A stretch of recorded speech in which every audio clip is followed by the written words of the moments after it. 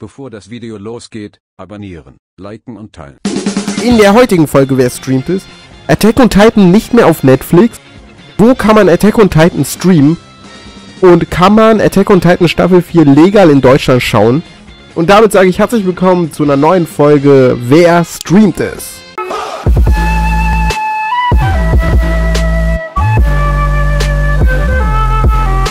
Attack on Titan Staffel 1 beziehungsweise Attack on Titan insgesamt, soll von Netflix am 30. November 2020 verschwinden. Und das ist leider super traurig, dennoch solltet ihr die Hoffnung nicht aufgeben. Es ist sehr wahrscheinlich, dass Attack on Titan Staffel 1, vielleicht sogar 2 und 3 nächstes Jahr auf Netflix wieder erscheinen wird. Also seid nicht traurig. Aber wer dennoch nicht warten möchte und unbedingt, bevor Staffel 4 in Deutschland startet, die ganze Serie legal recappen möchte, empfehle ich euch unbedingt Anime on Demand. Anime on Demand ist der Streamingdienst für Anime-Fans. Hier könnt ihr im Premium-Abo nicht nur Attack on Titan Staffel 3 gucken, sondern auch alle Folgen von Attack on Titan Staffel 2 und alle Folgen von Attack on Titan Staffel 1. Und zusätzlich noch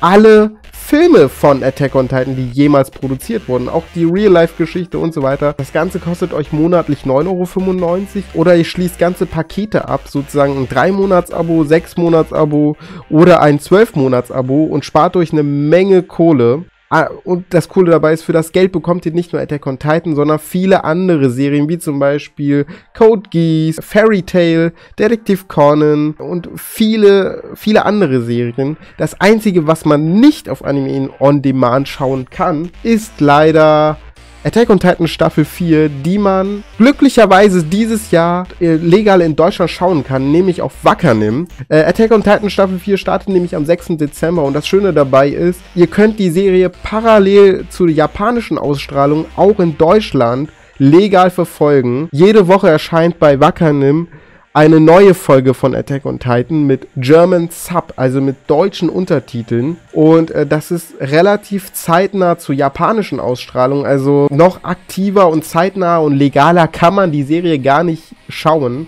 Leider kostet dieser Streamingdienst etwas, nämlich 5 Euro im Monat. Wer ein genaueres Review zum Wackernim haben möchte, wir haben zu diesem Thema ein Video dazu gemacht, ob sich Wackernim lohnt oder nicht gerne anschauen, bevor ihr ein Abo abschließt. Link dazu findet ihr in der Videobeschreibung. Und damit sage ich, das war's mit dem Video. Ich hoffe, ich konnte euch helfen.